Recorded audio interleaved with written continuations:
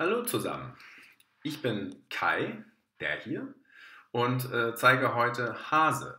Hase ist ein Webformular, um die Mobilitätshilfe der Deutschen Bahn online anzumelden. Und zwar ganz einfach und in wenigen Schritten.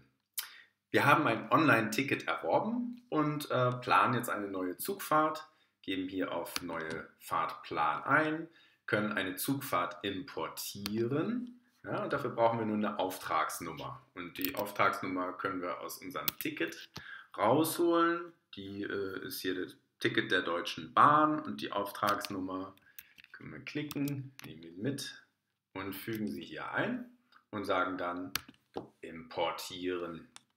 Und wir sehen Abfahrt in Kiel, die Zugnummer, an welchem Gleis äh, es losgeht und wo wir ankommen, alles schon voraus eingefüllt, können jetzt unsere Reise anlegen und äh, sie ist jetzt hier drin, klicken hier einmal rauf und sagen Hilfeleistung anmelden. Das machen wir jetzt. Wollen wir es wirklich machen? Ja, wir machen es. Wir können jetzt noch spenden oder sagen okay.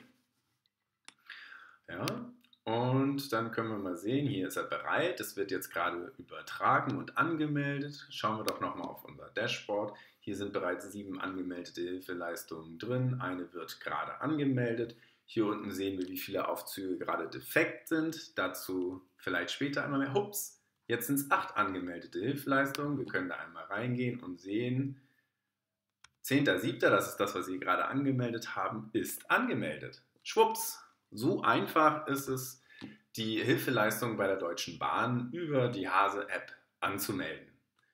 Ja, probiert es doch selber einmal aus. Tschüss.